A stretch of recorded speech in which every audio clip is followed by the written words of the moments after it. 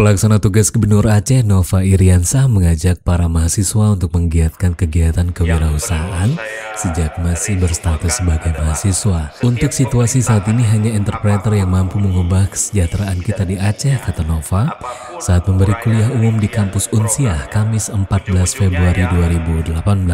Nova menyebutkan problem Aceh saat ini adalah kemiskinan yang disebabkan ketidaktersediaan lapangan kerja yang mencukupi. Setahun setengah ke kepemimpinan bersama Gubernur Irwan Yusuf terus mengupayakan masuknya investor untuk berinvestasi di Aceh. Lebih lanjut, Nova juga menegaskan bahwa saat ini arah investasi Aceh secara konsep digeser. Pemerintah Aceh mencoba memperluas lapangan kerja secara mandiri dengan memberikan akses seluas-luasnya kepada usaha mikro kecil dan juga menengah atau UMKM untuk terus berkembang. Kendala dari UMKM adalah pada persoalan permodalan. Karena itu sebagai kepala pemerintahan Aceh yang juga menjabat sebagai pengendali saham Bank Aceh dan juga Bank Perkreditan Rakyat BPR Mustaqim menjamin kemudahan akses permodalan para wirausaha muda di Aceh. Karena itu Nova juga meminta agar mahasiswa menyampaikan ide segar dan juga kreatif dalam bentuk kewirausahaan dan hanya interpreter yang mampu untuk mengubah kesejahteraan kita bukan investor